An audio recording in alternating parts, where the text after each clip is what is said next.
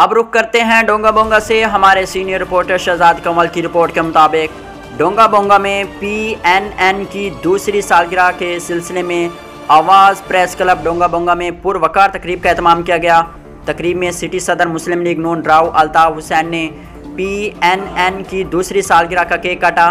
City صدر مسلم لیگ نون راؤ الطاف حسین نے کہا کہ پی این این کے دو سال ہیں جو بے مثال تھے۔ صرف دو سال میں P N N top ranking میں آیا۔ P N N news channel کے انتظامیہ مبارکباد کے مستحق ہیں۔ پی این این نیوز نے عوامی اور علاقائی مسائل اجاگر کر کے اپنا نمایاں مقام بنایا۔ اس موقع پر سیاسی سماجی شخصیت راؤ سرفراز حسین نے نوجوانوں کو اپنے پیغام میں کہا کہ نوجوان پاکستان کا مستقبل ہیں۔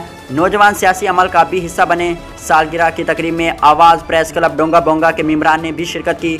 اور پی این این کے شاندار مستقبل کے لیے نیک خواہشات کا اظہار کیا تقریب میں شرکا کے لیے پر تکلف زہرانہ کا بھی اہتمام کیا گیا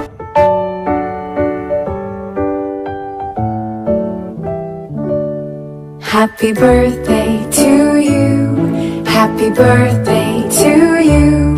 Happy birthday, happy birthday, happy birthday to you.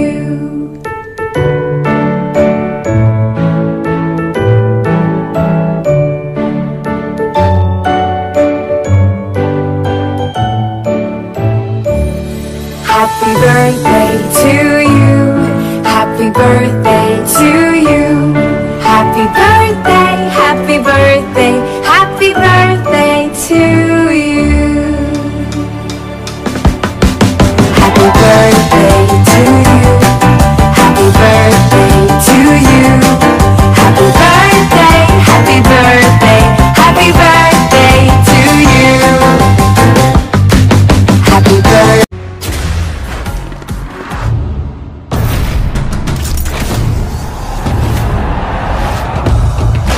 سکے نہ جو بنے وہ طوفان آجا بنے وہ طوفان۔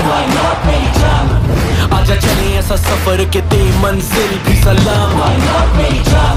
خواب دیکھے جو وہ پورے کرنے کو گئی نیندے کی حرام۔